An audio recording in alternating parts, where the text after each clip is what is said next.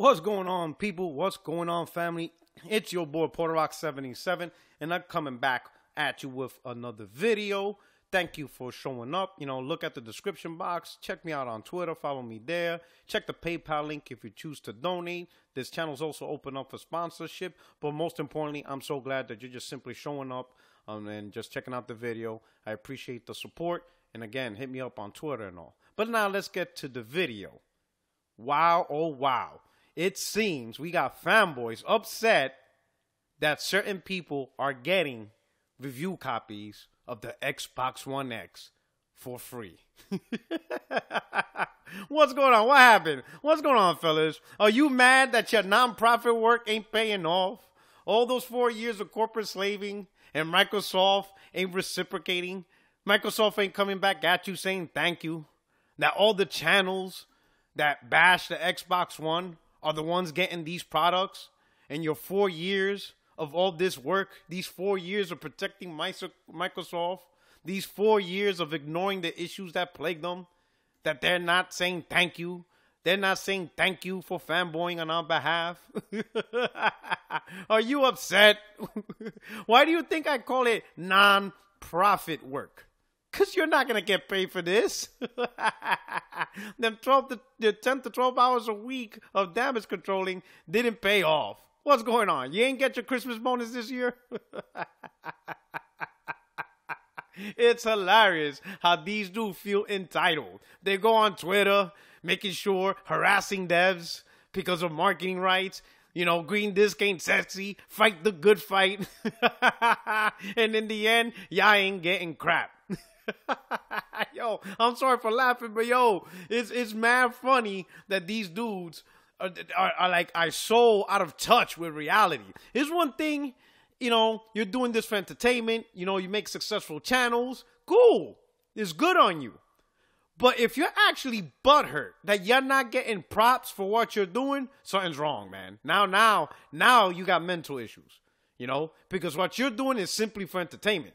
Don't think Microsoft is gonna say thank you for fanboying on our behalf. You know what I'm saying? When they look at these videos, oh, especially GameSpot one, oh man, they're getting so mad, so triggered. My man Lamar Wilson.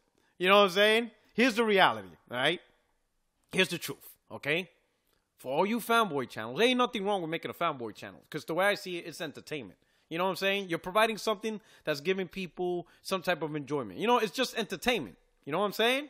It's kind of like Bill O'Reilly and you know those politics extremists and stuff like that. It ninety percent of it is all entertainment that triggers people. right?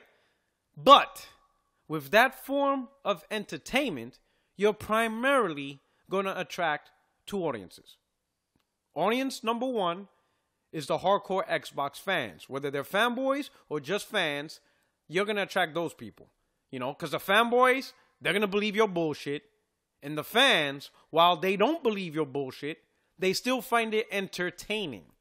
You know, because you got Xbox fans that don't believe your bullshit, but they still watch it because it's entertaining. It's funny. And it's, you know, they like to look at the reaction of other people get triggered over your, you know, over your craziness and fanaticism, you know? So it's funny to the Xbox fans to watch your channel.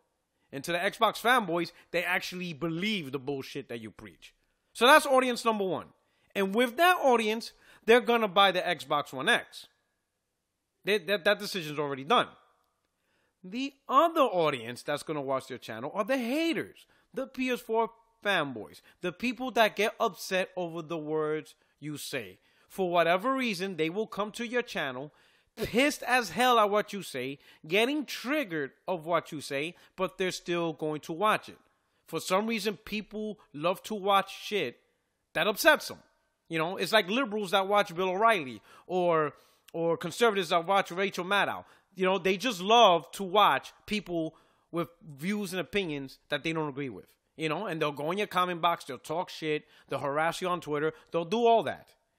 That group is not buying the 1X. No matter what you say. You could do all the unboxing in the world, they're not buying it. So the one main group will buy it, not even looking at your video, and the other main group isn't going to buy it. So what's the point of giving you a review copy of a 1X? What's it going to do for Microsoft? What's what's in it for them? Giving you a copy of a One X will do what? In your mind, you're thinking, well, I can advertise it and I can promote it. Bro, the people who watch your shit are already going to buy it. You see? When Microsoft gives it to these guys, the guys who had criticisms over the One X, they built a following, two million subscribers. This what's on Lamar Wilson? Lamar, he has 1.3 million subscribers.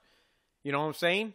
Those are the audience Xbox is going after. Microsoft is going after. They ain't going after your audience because your audience is already all in. They don't need you to advertise a damn thing because you already attracting the fan base that's going to buy the One X day one. Hell, they probably all got it pre ordered. You're not changing no one's mind because the decision's done. The fan base in your channel, the decision's done. You got one group that will buy the One X, and then you got the group that hates your ass that will never buy the One X. So there's no mind changing on your channel. But a channel like this dude, or her channel, their channel, this guy's channel, and definitely GameSpot, for the years who criticized the issues that plagued the vanilla Xbox One, they get to now review the copy. And if they like this product, they can tell their audience, an audience that did not like the OG Xbox One, to be like, hey, Microsoft finally did it right with this. This console's worth it. This console's powerful. It is worth the value. Because let's make no mistake, the Xbox One X was built off the criticisms of the OG Xbox One. It wasn't built off the fanboyism of you dudes. Because you dudes to this day still damage controlling the DRM fiasco. That's how bad and non-profit corporate work you guys are doing that you still can't admit that Microsoft's DRM strategy was terrible. That much corporate slaving you're doing. So you you're no use to Microsoft. But these guys are. Because if they review the Xbox One and Microsoft has confidence in this console, they will see a well-built, technically advanced console and they will preach that to their audience. And then the audience who are either on the fence or was disappointed in how Xbox One vanilla launched, they might listen to these guys and be like, you know what? if Lamar Wilson is saying that this console is finally the way it's supposed to be, it performs what it's supposed to, and it does real good, you know what? I might buy the Xbox One X. You know, I, I think I might just actually pick it up. Because an unbiased person who has no problem criticizing stuff that went wrong is more believable than you dudes doing all this nonprofit work 24 7. No one's going to trust your opinion right? And the people who do trust your opinion, they are already buying the One X day one. So you're not convincing anybody. There's no convincing. Microsoft gets nothing from giving you an Xbox One X. There's nothing for them. They get nothing out of it. If anything, it's actually worse because they're acknowledging the fanboyism. And we already know Phil does not like fanboyism. So he's not sending you fanboys an Xbox One X. You're not getting it. You guys are doing non-profit work. Keyword non-profit. It's free. It's free labor. anyway, and this, you know, and this applies to the PlayStation fan base. You know what I'm saying? But to be honest, I never seen the PlayStation fan base cry for not getting free PlayStations. I, I just never seen this. It's always, it's always something with the Xbox dudes. I don't know what it is, but it's always something new. But anyway, this is your boy Porter Oxford. So tell me what you think. Tell me if I went in too hard on these dudes or if I hit the point. Because I don't know. This, this little enti- entitlement mentality is getting sickening. But anyway, hit me up on the comment. Let me know if I'm wrong or if you agree with me. Hit me up on Twitter. You know what I'm saying? But I appreciate it. This is your boy Puerto Rock 77. Thank you so much for stopping by. Hey, don't forget to hit the like button and subscribe to the channel to watch more content and check me out every Wednesday. 60 frames, no lag podcast. You like the name, don't you? Yeah, you do. You know, hosted by me. And I always have some great guests of mixed personalities and taste and opinions. Xbox, you know, so um Xbox, PlayStation, Nintendo, whoever I could get and come, that's who's coming chit chat. But anyway, I'm out of here. Enjoy your weekend. Keep it gaming. And God bless all of you, all right? And again, thank you so much for, you know, supporting the channel. I'm out. Peace.